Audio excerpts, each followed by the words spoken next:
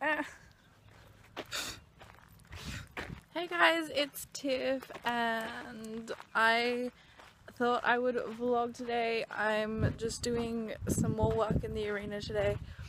Um, I'm in my gym clothes because I went to the gym. I had a lesson on Bart on Monday and he was super, he was literally amazing. Best lesson I've ever had on him.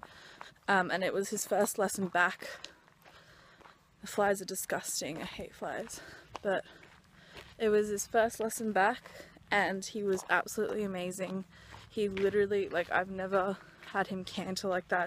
It was so balanced, so uphill, so easy to control and like adjust the rhythm and he was just amazing. So I thought I'd vlog and try and get some footage of him being amazing. If he's amazing again today, I hope so. But yeah, that's today.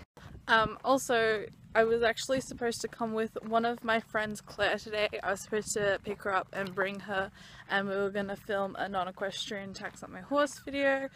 Um, but she's sick, so she couldn't make it today. But I'm planning to film that very, very soon with her. So stay tuned for that video. Um, and I was thinking of making like a why I use spurs, bits, whips and stuff video, sort of like my opinions on them, but I don't know whether it'd be too controversial. Um, like I don't want to start fights or anything. So let me know if you guys want to see that sort of thing, um, if you're interested in it. It's all really like opinion and like personal preference and I know it gets touchy when other people have different opinions but um, yeah, if you guys want to know like why I use what I use, um, then like, yeah, let me know. Here's my pony. Here he is. Okay, so I get a lot of questions about rugs. And as you can see, like rug, rug, like rugs. Pretty much all the horses on the property have cottons on uh, like 24 7 um, and this isn't for heat or anything and it's not for dust. It's more for like flies because I don't know if you guys know but Australian flies are literally resistant to Aerogard or fly spray or anything. They just they kind of just don't care about it. Um, and also for the sun it's mainly just because um, the sun's really hot in Australia and if you have dark hair then you'd but then you'd know when you sit out in the sun like your hair gets really really hot. Um, and it's the same thing for the horses like it's their body and they get really really hot. Um, so it's just sort of like a protection from the sun and the flies. Um, but it's not for warmth. It's very warm so we don't do it for warmth. But if you guys are wondering that's why we wear cottons. We put cottons